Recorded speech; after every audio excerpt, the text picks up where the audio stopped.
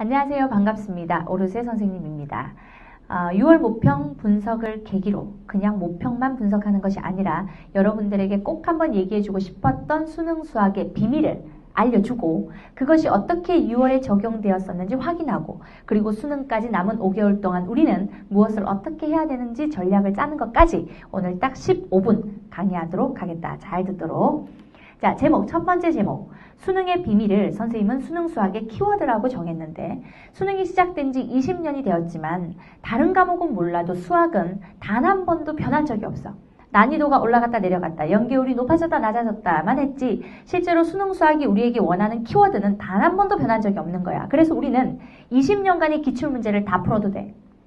20년 전에 거나 1년 전에 거나 똑같다는 얘기야. 그 안에 들어있는 수능 수학의 키워드는 딱 세 가지인데 이게 바로 수능 수학의 비밀이다. 봅시다.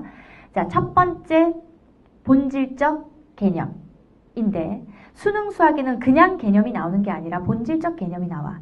근데 학생들이 선생님한테 와서 이런 얘기를 해. 선생님 저는 개념은 됐어요. 개념이 어떻게 됐는데? 라고 물으면 교과서에 수학적 정의가 있고 그 정의를 설명하는 증명식을 다 이해했어요. 그리고 그것을 적용해서 2점, 3점짜리 문제를 풀 수 있어요. 그러니까 개념이 됐어요. 근데 4점짜리가 좀 힘들어요. 그러니까 응용할 차례예요. 라고 얘기를 하는데 실제 수능에 나오는 개념을 알았다라는 건 본질적 개념이라는 선생님이 이름 붙인 이 개념을 알아야 되는 거고 본질적 개념이라는 건 뭐냐면 증명식을 이해했다고 해서 이해할 수 있는 게 아닌 거야.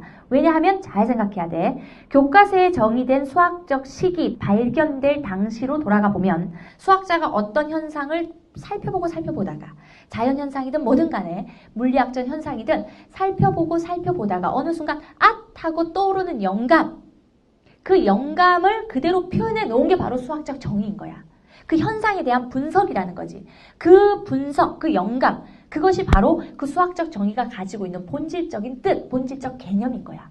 근데 그 영감이 떠오르는 순간에 수학자의 머릿속에 흐르는 그 논리를 우리한테 그대로 설명해주면 우리는 이해할 수가 없잖아. 그래서 고등부 교과 과정의 학생들이 이해할 수 있는 수준으로 바꿔놓은 거야. 조작해 놓은 거라고. 그게 바로 우리 교과서에 있는 증명식인 거야. 그래서 우리 학생들이 증명식을 이해하는 건 기본이지만, 기본 자세지만, 그걸 이해했다고 해서 이 수학적 식이 주는 본질적 개념을 알았다. 그건 아니라는 거지. 알겠습니까? 그럼 본질적 개념은 뭐냐? 그 시기 주는 뜻. 그 시기 발견될 당시의 수학자의 머릿속에 흐르던 논리를 안다. 그게 바로 본질적 개념을 안다라고 하는 건데 그럼 수능 수학에 왜 본질적 개념이 나오냐라고 물을 수 있잖아. 그지? 그냥 개념이 안 나오고 왜 본질적 개념이 나와요? 라고 물을 수 있잖아. 그런데 출제위원들을 우리가 한번 생각해 봐야 돼. 수능을 내는 출제위원들은 전부 대학 현직 교수들이야. 수학과 교수들이라고 그분들은 매일매일 수학자들의 머릿속을 공부하는 사람들이야. 그 수학이 발견되는 당시 그 해석 그것을 매일매일 연구하고 그리고 수학의 역사를 바꾸는 새로운 수학을 내가 만들기 위해서 매일매일을 보내는 사람들이기 때문에 우리의 수학적 식을 보면 그분들의 눈에는 그것이 밑에 있는 증명식과 함께 보이는 게 아니라 수학자가 그것을 발견하던 그 논리와 똑같은 논리로 그 식이, 그 식이 갖고 있는 뜻이 보인다라는 거예요. 그래서 그분들이 내는 수능 수학에는 본질적 개념이 즉 수학자가 그것을 발견하는 순간에 논리가 흐르고 있을 수밖에 없다. 그리고 우리는 그걸 알아야 된다. 알아야 돼. 선생님 내가 본질적 개념을 알고 있는 걸까요? 그건 나는 몰라. 하지만 우리는 알아야 되는 거야. 이게 수능 수학의 첫 번째 비밀인 거야. 반드시 본질적 개념을 알아야 돼. 알겠습니까? 자, 그 다음 두 번째, 그 본질적 개념을 이용해서 문제를 풀어야 된다. 그러한 풀이법을 선생님은 개념적 접근법이라고 말하고 있는 거야. 어느 평가원 교수님의 유명한 말이 있어. 최고 난도 문제의 목표는 말이야. 모르는 놈은 10분 만에 풀고 아는 놈은 1분 만에 푸는 거래. 그 아는 놈이 아는 것이 뭐겠냐? 그게 바로 본질적 개념이고 그것을 이용한 풀이법, 개념적 접근법이라는 거지. 그 이렇게 얘기하면 학생들이 선생님 그러면 제일 어려운 4점짜리는 개념적 접근법으로 풀까요? 라고 얘기하지만 실제 수능 문제는 2점짜리부터 본질적 개념이 포함되어 있는 개념적 접근법으로 풀어야 돼. 왜냐하면 수능 수학을 어떻게 내는 거야? 한달 동안 감금당해서 내는 거야. 한 달 동안 감금당한 교수님한테 1번을 출제하시오라는 명이 떨어졌을 때 1번 계산 문제네 금방 내고 말아야지 라고 생각하지 않을 거 아니야. 그 1번 문제가 나의 자존심이고 거기에 모든 철학과 본질적 개념이 들어간다라는 거지. 그래서 기출문제는 2점짜리부터 다르다. 기출문제 2점을 다 모아서 한번 풀어봐. 달라. 2점, 3점, 4점 모두 본질적 개념을 이용한 개념적 접근법으로 풀어야 된다라는 거야. 알겠지? 자, 마지막 키워드. 수학적 언어의 이해라는 거. 이게 없으면 이게 없으면 우리가 어떤 한 문제를 풀 때에 그 문제가 담고 있는 본질적 개념을 이용해서 개념적 접근법으로 풀기 위해서 문제를 읽는데 말이야. 여기에 무슨 본질적 개념이 들어있는 건지 알기 위해서는 그 문제를 까야 돼. 껍질을 까야 된다고. 문제가 주는 조건식을 잘 읽어서 내용을 이해해서 까서 그 안에 들어있는 본질적 개념을 이용해서 풀어야 된단 말이야. 근데 그 껍질 까기가 잘 안 돼. 그 껍질 까는 작업이 뭐냐면 조건식 이퀄 힌트기 때문에 수학적 언어를 이해해서 저게 나한테 뭘 알려주려고 하는지 말뜻을 받아들이는 거. 그게 바로 껍질 까는 건데 그게 수학적 언어의 이해가 있어야 된다는 거지. 그럼 문제 풀 때 그 실전에서 수학적 언어의 이해가 있으려면 우리는 어떻게 공부해야 되느냐? 개념을 읽을 때부터 어떤 수학적 정의를 읽을 때부터 그것이 나한테 주는 식의 뜻, 말뜻을 느끼기 위해서 노력해야 된다는 거야. 그래서 결론적으로는 본질적 개념을 공부한다. 이콜 수능의 비밀을 해결한다. 이거라는 거지. 알겠습니까? 자, 요게 비밀인데 말이야. 이 수능 수학의 키워드 3개가 모평에 어떻게 적용되었는지 B형 문제를 예제로 한번 설명해 볼게요. 잘 봐. 자, 요게 B형 문제에서 가장 어려웠던 30번 문제. 두 단계의 사고 과정을 거쳐야 되는 적분과 미분의 통합 문제야. 자, 두 개의 해설을 써놨어요. 정확히 해설이 안 보여도 상관없어. 기출 해설에 가서 확인하세요. 비교해주고 싶은 건 뭐냐면 두 개의 해설 중에 이 빨간 박스 친 게 1단계 그리고 2단계 1단계는 적분 2단계는 미분으로 결론을 내리는 건데 두 해설을 비교할 때에 두 번째 해설은 그 1단계 부분이 현저하게 축소된 짧아진 게 보이지 맞아요? 보입니까? 자 이거보다 훨씬 짧아져 어디 이렇게 짧아졌지? 꼼수인가? 편법인가? 라고 생각할 수 있겠지만 여기에 한 줄로 끝나. 한 줄로. 30번 문제가 뭔지 알지? 이 장황한 것이 한 줄로 끝나. 그럼 어떻게 풀었길래 한 줄로 끝나?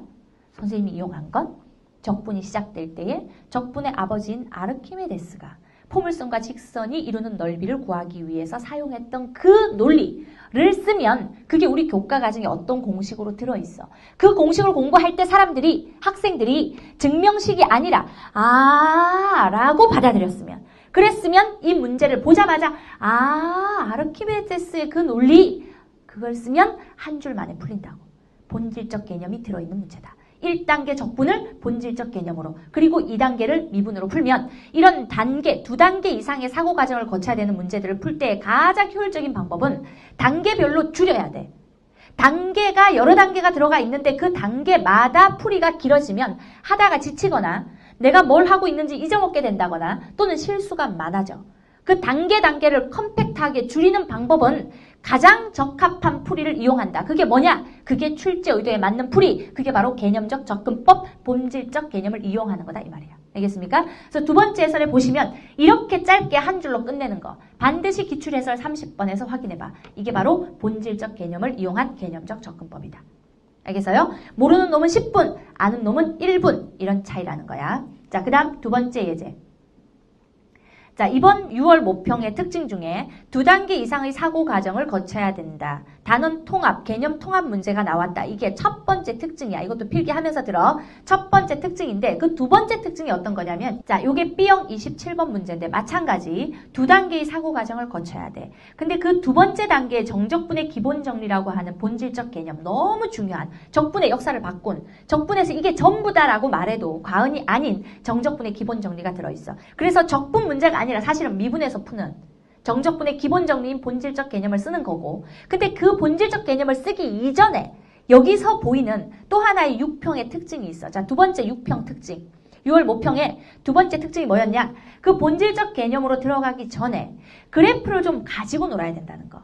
여기 보시면 그래프의 선대칭 이동 특성을 사용하면 치환적분법이나 적분을 주구장창 하지 않아도 그냥 한 줄만에 내가 원하는 ft라는 함수를 만들어낼 수가 있는 거야. 이것도 기출에서 확인해. 이렇게 본질적 개념, 그 문제의 기본, 아주 근본으로 들어가기 전에 그래프를 좀 가지고 놀게 한다. 이과생들은 올 여름에 반드시 그래프 가지고 노는 걸 알아야 된다. 어떤 뭘 알아야 되냐라고 한다면 지금 불러줄 테니까 적어. 그래프 자체가 가지고 있는 특징이 있어. 어떤 함수는 선대칭 특징을 가지고 있지. 어떤 그래프는 점대칭 특징을 가지고 있어. 어떤 그래프는 주기성을 가지고 있어. 그래프 자체가 가지고 있는 세 가지 특징에 대해서 알아야 돼. 그것이 정적분이랑 어떻게 접목될 수 있는지 확인하고 그 다음 이미의 어떤 그래프가 평행 이동 당했을 때, 선대칭 이동 당했을 때, 점대칭 이동 당했을 때, 확대 또는 축소 이동 당했을 때, 이 네 가지의 이동 특성이 일어났을 때의 정적분과 통합되면 어떻게 나올 수 있는지 해야 된다. 어렵겠지. 그래서 올 여름의 특강으로 선생님이 그래프의 특성과 그래프의 이동 특성에 대해서 이과생 이거 모르면 최고난도 문제들을 맞추기 힘들고 100분 안에 모든 걸 풀고 검산하기 힘들어. 최상위가 되기 위해서 원점수 100점이 되기 위해서는 이걸 알아야 되기 때문에 여름방학 때 그래프에 관련된 특강을 찍어서 메가캐스트에 올려줄 테니 올라올 때마다 확인하세요. 알겠습니까? 자, 걱정하지 마시고 모든 걸 올려주겠다. 그래서 6월 모평의 그래프와 비교해서, 그래프 문제랑 비교해서 이것을 사용하면 얼마나 빨라질 수 있었는지 보여주겠습니다. 지난 수능에도 너무 많이 나왔던 내용들이라 그래프 이동 특성, 특강으로 들어간다는 거 기억하고 이번 문제의 특징, 이과생은 그래프 갖고 놀아야 된다. 알겠죠? 자, 그 다음 이거. 그래서 실제 이거 방부동식 문제 28번 기억하지. 28번 문제를 식으로 풀면 이렇게 풀어. 이렇게 많이 풀었더라고. 그지? 근데 이거를 그래프를 이용하면 이렇게 푼다. 왜 그래프를 이용하냐? 그래프를 이용하는 건 아주 중요한 이과생에게 중요한 소양인데 말이야. 그래프를 이용하겠다라고 접근하는 거 왜 선생님 그래프를 이용하겠다라고 판단했냐라고 묻는다면 거기에 수학적 언어의 이해가 있어. 잘 봐. 지금 여기에 잘 안 보이겠지만 분수 부등식 g의 x-2분의 fx가 1보다 작거나 같은 모든 정수 x를 구하라 이렇게 물었단 말이야. 그때 오른쪽에 그 1, 그걸 동그라미. 1이 뭐냐? 둘을 나눴는데 나눴는데 1보다 작거나 같아 이렇게 물은 건 분모 분자의 대소 비교하라 이 뜻이야. 맞아? 부등식을 풀어라가 아니라 두 함수를 그려놓고 누가 더 큰지 작은지 대소 비교해. 분자가 더 작으면 1보다 작을 거야. 아, 1이라고 하는 그 수학적 언어. 그냥 단순히 1. 그것이 나한테 시키는 게 나눴는데 1보다 커 작아? 위아래를 대소 비교하란 얘기야. 그러면 그래프만 그려내면 위아래 누가 더 큰지 작은지 정수들 체크해내면 그 안에서 바로 답이 나온다. 알겠지? 그래서 이게 더 실수가 없을 거냐, 이게 더 실수가 없을 거냐 한번 생각을 해봐. 그래프이면서도 수학적 언어의 이해. 알겠습니까? 자, 요렇게 선생님이 얘기하는 세 개의 키워드가 주요 문항 속에 들어있다라는 거. 이건 어떤 수능을 가지고 선생님 이것도 그러면은 어떤 비밀이 있는지 한번 해석해 주세요. 이 문제들은 그 비밀 어떤 거에 적용이 된 건지 어떤 거에 어떤 비밀이 이 문제에 적용이 된 건지 한번 확인해 주세요. 그러면 모든 수능 문제 평가 문제는 확인해 줄 수가 있어. 그거야. 수능이 안 변했다는 것. 알겠습니까? 자, 저 세 개의 키워드 내가 갖고 가야 되겠다. 그렇다면 선생님 본질적 개념을 어떻게 하면 알 수 있나요? 개념적 접근법은 어떻게 연습해야 되나요? 수학적 언어의 이해는 도대체 어떻게 만들어 가야 되는지, 문제 풀 때 껍질 벗기는 거 어떻게 해야 되는지 설명해 줄 텐데, 마지막으로 예제가 하나 더 있네, 보니까. 이거 행렬 문제. 한 잔소리 하나 하고 가야 돼. 이거는 키워드에 대한 잔소리가 아니라, 수능 비밀에 대한 잔소리가 아니라, 어, 지난 3월에 6월 아니 지난 3월에 평가원에서 발표한 자료 속에 A형, B형의 평가 목표와 학습 방법 이 주어져 있었어. 그 학습 방법 보면 8가지의 학습 방법 A형, B형 각각 주어졌는데 평가원에서 이렇게 공부하라라고 학습 방법을 가르쳐 줬어. 근데 그 학습 방, 방법 속에 가장 많이 나왔던 선생님 지금 시간이 너무 늦어가지고요. 지금 새벽 3시거든. 그래서 자꾸 혀가 꼬여. 근데 혀가 꼬이는 거 감안하고 그냥 선생님의 내용만 들으세요. 알겠죠? 그 A형, B형의 학습 방법에 가장 많이 나오는 지시어가 바로 개념 원리 법칙이었어. 개념 원리 법칙. 개념 원리 법칙을 이용해서 연역적 추론을 하시오라는 지시어들이 굉장히 많아. 근데 이 문제가 잘 봐. 행렬의 4점짜리가 우리는 진입 판정 문제가 나와주기를 기대했잖아. 그래서 스님이 6월 목평 특강도 진입 판정 문제를 했잖아. 그런데 진입 판정 문제가 아니야. 무슨 문제야? 거듭 제곱을 추론하는 문제야. 그런데 거듭 제곱 추론 문제 치고는 조건이 되게 특이해. 그게 뭐냐니까 가 a 세제곱이 2다. 나 a-2의 역행렬이 존재한다. 어 이건 행렬에서 가장 중요한 두 가지 주제잖아. 진입 판정 문제를 탈탈 털면 나오는 딱 두 개의 주제가 그거잖아. 곱셈에서 교환법칙 보건대 이거 아니면 역행렬이 존재해 요 두 개가 만들어내는 실수하는 다른 연산 법칙 그거를 조건으로 줬다고. 그러니까 얘는 진입 판정 문제랑 진배가 없어. 그냥 직립한정 문제와 똑같은 주제를 가지고 추론을 시켰을 뿐이야. 고로 개념 원리 법칙으로 우리가 행렬의 연산에서 약속한 그 연산 법칙에 의해서 연역적으로 추론을 하면 왼쪽이 실제 여섯 번의 거듭 제곱을 해본 사람들 쌤이 시겁했어요. 보고 깜짝 놀랐어. 아 이렇게 풀 수가 있구나 학생들은. 어?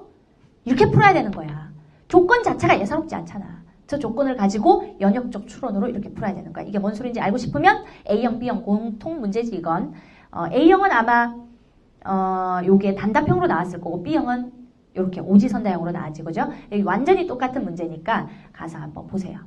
알겠습니까? 이렇게 차이가 난다. 고로 개념 원리 법칙으로 연역적 추론을 한다는 것이 얼마나 수능에서 중요한 건지 발레를 그냥 막 발상한다거나 막 집어넣어 보고 판단한다거나 이런 거에 앞서서 연역적 추론이 안 되면 그것도 필요하지. 기납적인 것도 필요해. 하지만 그에 앞서서 늘 우선돼야 되는 건 개념, 원리, 법칙에 의한 연역적 추론으로서 문제를 풀어라 라고 평가원이 시키는 건 선생님이 앞에서 얘기하는 본질적 개념을 가지고 개념적 접근법을 통해서 그걸 아우르는 수학적 언어의 이해의 연습을 통해서 수능 문제를 해결하라라는 거와 똑같다 이 말이야. 알겠습니까?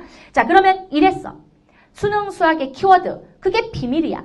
그리고 6월 모평에 실제로 적용된 걸 봤어. 풀이가 되게 달라. 나는 과연 어떤 걸 선택할지 한번 생각해봐. 그죠? 피곤하니까 자꾸 기대게 되네. 자, 어쨌든 그래서 우리는 선생님 이제 어쩌라고요? 차라리 말을 하지 말지. 본질적 개념을 내가 수학자가 아닌데 어떻게 아냐? 방법은 있다. 5대 실천 강령을 알려줄 테니 잘 보세요. 유치하게 5대 실천 강령. 자, 이것을 지금부터 수능까지 반드시 지킨다. 라고 약속하는 학생들만 들으세요. 지금부터. 알겠습니까? 이걸 하면은 우리는 수능 원점수 100점 수학 가능하다. 아, 요거 쌤이 입시 설명회 때 얘기를 했었어 사실은. 그 6월 8일 경희대에서 했었던 입시 설명회에서 설명을 했는데 그때 참석하지 못한 학생 또는 어, 온라인에 올라온 뭐 있죠. 그거를 보지 못한 학생들이 많기 때문에 그리고 그건 좀 길어. 그래서 요약 정리해서 알려줄 테니 보세요. 자, 1번. 자, 너희가 하는 게 맞다. 글씨 보여요? 읽어줄게. 너희가 하는 게 맞다. 이게 뭐냐면, 자, 빠르게 얘기할게. 이제 3분 남았어. 카운트다운. 어, 선생님, 오프라인 학생들이 래 선생님, 저는요, 지금 시간이 없어요. 근데 20년간의 기출문제를 풀려고 보니까 그 기출문제 풀다가 수능 보러 가게 생겼어요, 선생님. 그것만 풀어도 괜찮을까요? 라고 물어. 괜찮다. 기출문제를 풀면서 되게 불안해 하는데, 그게 답이야. 왜냐하면, 교수님들이요, 이제는 사석에서 이런 얘기를 해. 더 이상 낼 게 없대. 20년 동안 낼 거 다 낸 거야. 그들의 머릿속에 흐르는 수학자의 논리와 똑같은 그 본질적 개념을 이미 다 냈어. 20년 동안. 그러니까 기출문제 안에 내가 배워야 되는 본질적 개념은 다 있는 거야. 알겠어? 그럼 다른 문제들은 거기는 있는지 없는지 모르지. 검증되지 않았으니까. 내가 오직 본질적 개념을 배울 수 있는 문제는 기출문제밖에 없다. 어? 그리고 개념적 접근법을 훈련할 수 있는 문제, 기출문제밖에 없다. 그래서 20년간의 기출문제를 열심히 푸는 거, 그게 맞다. 그러니까 불안해하지 말고 하세요. 불안해하면 공부 안 된다. 공부는 정신이 하는 거잖아. 정신이 불안하면 어디 가면 누가 공부를 해? 정신이 불안해도 일은 잘하거든. 하지만 정신이 불안하면 공부를 못해. 니네가 하는 기출문제 해석 맞으니까 열심히 풀어. 단 이전부터 다시 풀어봐야 돼. 선생님 이 기출문제는 내가 너무 많이 풀어서 이제 완전 외워버렸어. 라고 하더라도 다시 풀어야 되는 거야. 왜? 그땐 그냥 풀었잖아. 지금은 뭐가 본질적 개념인지 생각하면서 풀어야 되거든. 오케이? 자, 니네가 하는 게 맞다. 기출문제 해석하는 거 맞으니까 자신감 있게 기출 풀 때 기출에 집중해서. 알겠습니까? 자, 두 번째. 나를 따르라. 자, 굉장히 부끄럽지만 오르세 선생님을 어, 따르라는 얘기일 수도 있고 어, 주변의 경험자를 따르라는 얘기일 수도 있어. 왜냐하면 여러분이 지금부터 5개월 동안 열심히 기출문제를 푼다고 해서 본질적 개념과 개념적 접근법과 수학적 언어 이해가 될 거냐? 그 무기가 완전히 내 손에 들어올 거냐? 그러지 않을 수도 있는 확률이 있다는 거지. 우리는 평범한 학생이기 때문에. 19살 학생의 머리가 수학자의 머리를 따라갈 수가 없을 수도 있기 때문에. 그래서 이미 수년간 수학을 연구하고 수능 수학을 연구해서 분석해서 본질적 개념과 그 키워드 세 개를 가지고 있는 경험자를 따르는 것이 가장 효율적이고 안전하다라는 뜻에서 나를 따르라라고 표현한 거야. 알겠지? 힘들면 수학뿐만이 아니야. 국어, 수학, 영어 전부 다 힘들면 그 가장 본질적 개념을 잘 알려줄 것 같은 선생님을 따라가야 돼. 그래야 효율적이고 안전하다. 우린 지금 불안하거든. 그죠? 자, 세 번째. 자, 1번, 2번이 혼자 기출문제를 풀든 기출문제 해석을 배우든 기출문제 하나를 100번을 분석해라 라는 뜻이라면 3번 그래도 100문제를 한 번 풀어라. 반어적인 표현이야. 수학은 한 문제를 100번 푸는 거잖아. 분석하고 분석하고 분석하는 거잖아. 근데 그것만 하다 보면 기출문제만 풀다 보면 거기에 익숙해져서 새로운 문제를 보는 게 되게 두려워져. 새로운 문제를 읽었을 때 수학적 언어를 받아들여서 껍질을 까야 내가 알고 있는 본질적 개념이 그 안에 들어있고 그걸 이용해서 문제를 풀 텐데 그 껍질 까기가 안 돼. 두려워. 새로운 문제를 보는 연습이 안 돼 있으면. 그래서 기출문제 풀고 나면 EBS 교재 풀고 다른 타 문제집 풀고 충분히 껍질 까는 연습까지 해서 수능 보러 가야 되는데 시간이 없어. 그래서 선생님이 추천하는데 기출문제를 열심히 해설하고 풀면서 분석하면서 자 주말에 지금부터 일요일 이번 주 일요일부터 당장 시작해 주말에 모의고사를 한 해씩 꼭 보자. 모의고사 한 해씩. 그 모의고사가 좋은 문제로 구성되어 있든 아주 지저분 한 문제이든 상관이 없어. 내가 연습하고 싶은 건 그 모의고사 문제를 풀면서 껍질 까는 연습을 하고 싶은 거야. 수학적 언어를 이해하고 조건이 주는 힌트를 받아들이는 그 연습을 하고 싶은 거야. 오케이? 그래서 기왕 하는 김에 10시 반에, 일요일 날 오전 10시 반에 시간을 정해서 하자고. 왜냐하면 수능을 10시 반에 보잖아. 10시 반에 늘 내 머리가, 내 세포가 다 수학적 사고를 하게끔 습관적으로 만들어주자 이거야. 알겠습니까? 그래서 일요일 오전 10시 반 늘 final 모의고사를 한 회씩 푼다. 뭘 연습하는 거다? 껍질 까는 연습을 하는 거다. 새로운 문제에 대한 두려움을 없애는 연습을 하는 것이다. 그 똑같은 시간대 수능장에서 수학시험을 볼 때 전혀 당황스럽지 않게끔 해가 저 정도 뜨면 난 늘 첫 번째 장을 넘기는 몸이 기억해서 전혀 당황스러워하지 않고 자신있게 수학 문제를 풀 수 있게끔 도와주기 위해 일요일 오전 10시 반 그래도 100문제를 한 번 푸는 거. 오케이? 이해했지? 무슨 말인지? 자, 그 다음 4번. 세모를 없애라. 자, 이 얘기는 선생님이 한번 3월 학평 해설하면서 했던 얘기인 것 같긴 한데 그 세모가 뭐냐면 빨리 얘기할게요. 본인의 어, 책꽂이를 뒤져서 풀었던 문제집을 펼쳐봐. 그럼 거기에 꼭 세모가 있어. 그게 뭐냐? 처음에 풀 때 틀렸어. 어, 왜 틀렸지? 다시 풀어봐. 맞았어? 그러면 세모를 치지. 그 순간이 굉장히 기쁜 순간이야. 왜냐하면 선생님께 여쭤보지도 않았고 해설지를 보지도 않았는데 내가 다시 풀었으니까 어 이건 내가 풀 수 있는 문제야 라고 위안을 삼지. 근데 문제집에 그러한 세모가 있는 사람들 그 사람들은 입시 성공에 필요한 가장 중요한 요건 하나가 빠져 있는 사람들이야. 그게 뭐냐? 그게 바로 간절함이라는 거야.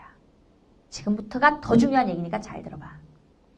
평소 문제집 풀 때 세모 만드는 사람들은 수능 날도 세모 만든다. 수능 끝나고 나와서 세모 친다고. 아, 위안이 될 것 같아? 아, 엄마 아는 문제였는데 틀렸어. 위안이 될 것 같아? 인생이 바뀌어. 수능 날 만든 세모는 인생이 바뀌어. 그 일반적으로 수험생들이요. 1년에 2만 문제나 3만 문제를 풀어. 그럼 2만, 3만 문제 속에 그해 수능 30문항이 없을 수가 없어. 신유형에 해봐야 1년에 한두 문제 나오거든. 내가 푼 2만 문제 안에 수능 문제 30문제 다 있는 거야. 그러니까 학생들이 수능 보고 나올 때 이런다고. 아는 거 틀렸어요. 실수했어요. 당연하지. 아는 거 틀린 거 맞아. 근데 왜 아는 걸 틀렸을까? 내가 갖고 있는 수학적 지식을 왜 반도 사용하지 못하고 수능 문제를 풀고 나왔을까? 왜 나는 수능 날도 세모를 치게 됐을까? 실수 한 번 해서 세모 치면 어떻게 돼? 인생이 바뀌어. 대학이 바뀌어. 꿈도 접어야 돼. 실수 한번 했을 뿐인데 그렇게 가혹한 일이 벌어진 거야. 그럼 과연 여러분이 수능날 실수한 걸까? 아니야.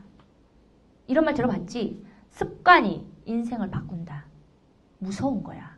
평소 1번, 2번, 3번 하면서 기출문제 풀면서 일요일날 모의고사 풀면서 아 풀으라니까 해야 되니까 그냥 해 흐리멍텅한 정신력으로 지금 이게 얼마나 구구절절한 간절한 순간인지 모르고 그냥 해 흐리멍텅한 정신력으로 하니까 머릿속에 있는 수학적 지식을 사용을 못해서 틀리는 거야 근데 그 흐리멍텅한 그 태도 그게 바로 매일매일 내가 문제를 대하는 태도를 만들어가고 있는 거라고 문제를 대하는 태도를 완성시키고 있는 거라고. 근데 그 문제를 대한 태도가 결국은 습관이 되고 그 습관대로 똑같이 가서 수능 문제 30문제를 풀고 나오는 거야. 그러니 평소에 세모가 있는 간절하게 문제를 풀지 않는 흐리멍텅한 습관을 가지고 있는 사람은 수능에서도 세모를 만든다고. 그래서 우리는 세모를 없애야 돼. 어떻게 없애냐? 매 순간순간 간절해야 돼. 지금 풀고 있는 문제가 수능에 나올 거래. 근데 수능 보러 가기 전에 지금 나한테 마지막으로 풀어보라고 준 문제야. 그렇게 간절하게, 구구절절하게 하루에 공부하는 13시간 동안 13시간 정도를 공부를 한대 수험생들이. 가만히 앉아서. 그 13시간이 그 중에 단 1분 1초도 무의식에 버려지는 시간 없이 꽉 채워서 구구절절한 간절함으로 채워졌을 때에 그 하루하루가 그대로 수능날 하루가 되어서 간절하게 구구절절하게 내가 가진 모든 것을 이용해서 수능 문제를 풀고 나올 수 있는 거야. 이건 수학만 얘기하는 게 아니야. 그래서 아주 아주 무서운 질서가 뭐냐면 수능 끝나고 수험생들이 선생님한테 찾아와서 선생님 저 어느 학교 붙었어요. 라고 행복하게 말할 때 말이야. 굉장히 무서운 건 매 순간 그 간절함으로 죽도록 노력한 학생들이 결국은 수능 대박이 나고 입시 성공을 한다라는 거. 그거는 그 학생을 계속해서 지켜본 나만, 선생님만 알 수 있는 비밀인 거야, 그게. 오케이? 자, 세모를 없애라 라고 썼지만, 좀 멋있어 보이려고. 이렇게 썼지만, 사실은 간절함을 가지고 공부해야 된다. 매 시간, 1분 1초 하나도 버려지지 않는 구구절절한 간절함으로 순간순간을 잡아야 된다. 그러면 굉장히 고통스러울지라도 순간순간 나를 이기는 고통이 올지라도 그 고통을 이긴 사람들이 수능날 승리할 수 있다. 이 얘기야. 알겠어?